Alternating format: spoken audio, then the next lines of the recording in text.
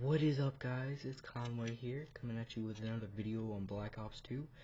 Activision is releasing DLC for the first time in January 2013 for the new game Black Ops 2. Um, the new multiplayer maps are Hydro, Grind, Downhill, and Mirage. I think those maps are going to be pretty good. Uh, four maps. Uh, I don't know exactly what they look like, but if you if you get a hint at the picture, I think that's what it is because the zombie map is supposed to look like what the picture looks like. So, and the one zombie map is Die Rise. I thought it was gonna be like I think it's gonna be like COD World at War, but telling by the picture, it looks like it's gonna be in Los Angeles because it's Save Los Angeles and all those people dying in Los Angeles in the campaign and and in the trailer.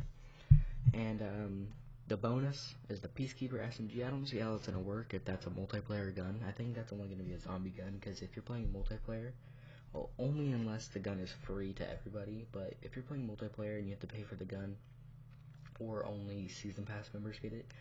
I mean, what if somebody was playing and they were playing against people that didn't have that gun, and then the people that didn't have the gun killed people with the gun, and then they picked up the gun? What would happen? Uh, I don't really know what would happen, but I think there will be a separate like game type play or something like that, like a category with people that have the season pass. But yeah, leave down in the comments what you guys think, and I'll hit you guys up next time if I have any more info about this. I'll upload it right away. So if you want to know, uh, subscribe to me, and I'll let you guys know as soon as possible. And I'll see you guys next time. Peace out.